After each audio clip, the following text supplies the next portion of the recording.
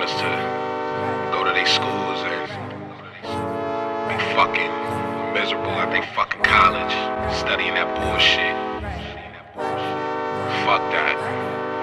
Do what the fucking makes you happy. Cause at the end, who's there?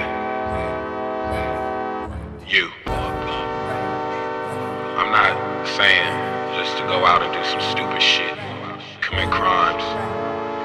I'm trying to tell you is do what the fuck you want. Stand for what the fuck you believe in. And don't let nobody tell you can't do what the fuck you want. I'm a fucking unicorn.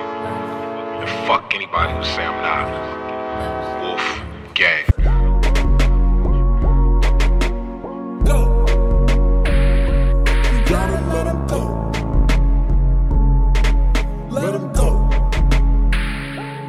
gotta let him